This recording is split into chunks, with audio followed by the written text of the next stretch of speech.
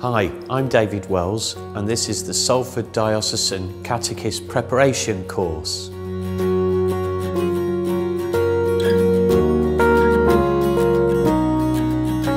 Hello, I want to thank you, no, really thank you for being a catechist. Um, I have the privilege of doing this sort of work all over the world. I've got to tell you this when people who understand the word ask me what I am, I say I'm a catechist.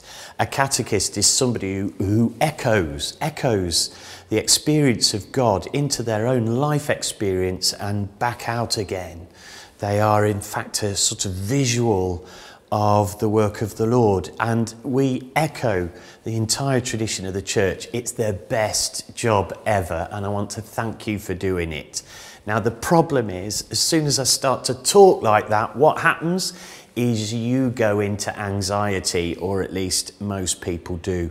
Just look, we suddenly are overwhelmed by thoughts of, I'm not holy enough, uh, I'm not ready enough. There are people here who know more than I do. Surely fathers should do this. It goes straight into all of our insecurities.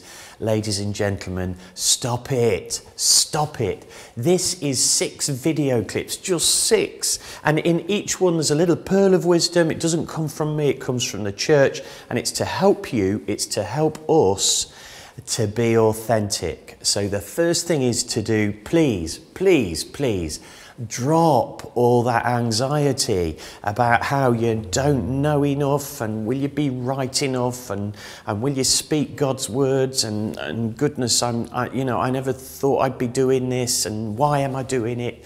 Well, you're doing it for a good reason and your motives are good. So drop the anxiety for a minute. Tip number one let me tell you, it's a massive mistake. I see it all the time and I fall for it myself. Right, when you're preparing a session for the children or the adults, whoever it is that you're working with, when you prepare a session, what do you spend most time doing? Praying or preparing? Now, they're sort of one and the same thing, but let me tell you, most people lose the prayer. It's a strange thing, but we forget where our power comes from. It's incredible. We can do anything through the power of Christ, but here we are relying back on our own strength and we go after the books and after the content, and all those things are important. But you know, you can skip the prayer. You know, the fourth part of the Catechism of the Catholic Church is entirely devoted to prayer. And the interesting thing is where it begins. It begins with humility. Humility is the foundation of prayer. Hey, now, just when you think you're no good at praying, you're ready to receive the gift of prayer. That's what it says in the Catechism. You're not an expert in prayer. In fact, you come as a beggar before God. You are, in fact, humble before the Lord. So when we begin our catechetical sessions, the first thing we do is acknowledge, accept, and get over that we're not perfect. All right? You're not perfect, and neither am I. I had the privilege of knowing that my dad was dying. It meant that I had about six weeks to have really good conversations with him.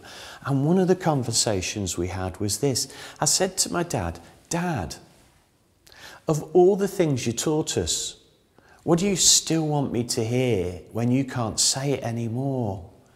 And he looked at me and he smiled and then he said to me this He said, David, don't take yourself too seriously. And then he added, You're going to die. Get over it. Let me tell you, there's a real risk without prayer that it becomes all about what we do and not about what the Lord does. And then we go into panic. So there's two things I'd like you to ask you to do, please.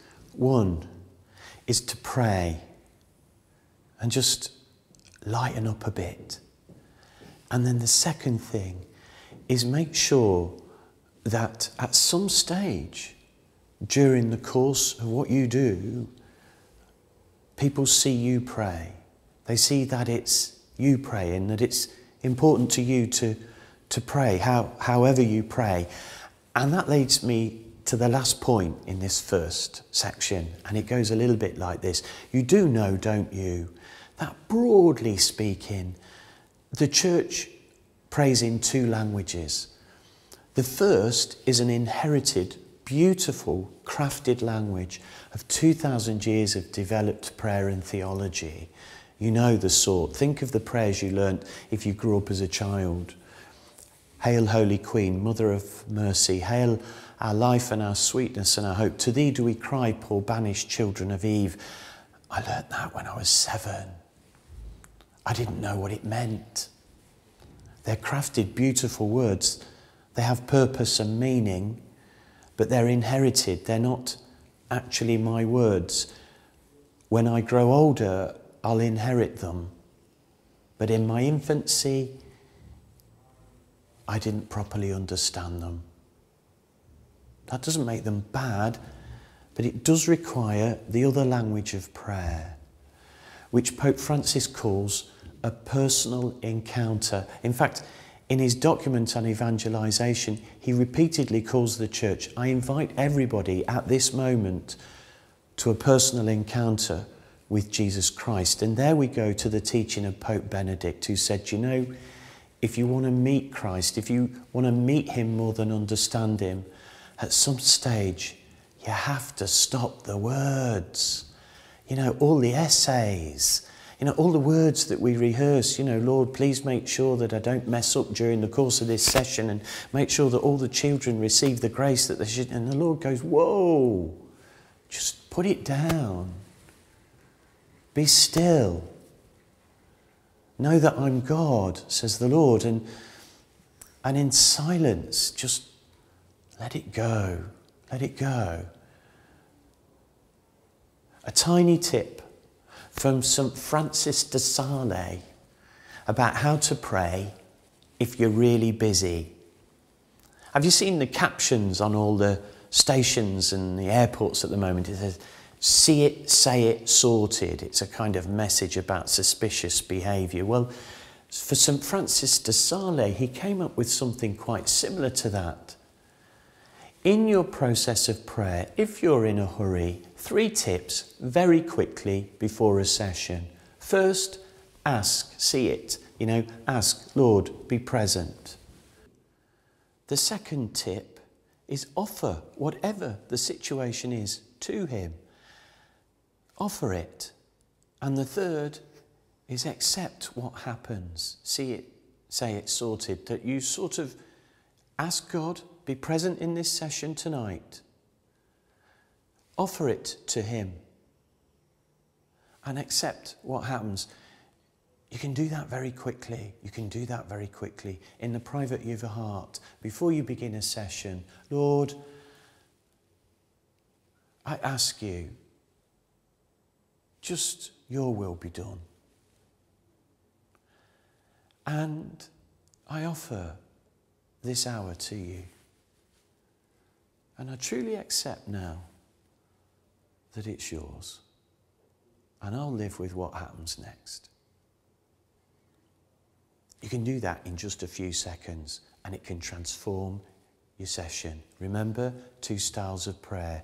Always hold on to the inherited language of the church, the Lord's Prayer, the great prayers of the church, and at the same time make sure that you're connected with a personal relationship and encounter with the one who comes to save us. That's how you prepare best for these sessions. Don't lose sight of your prayer. Okay? So now here's a quote, and after the quote, a couple of questions. Here they come.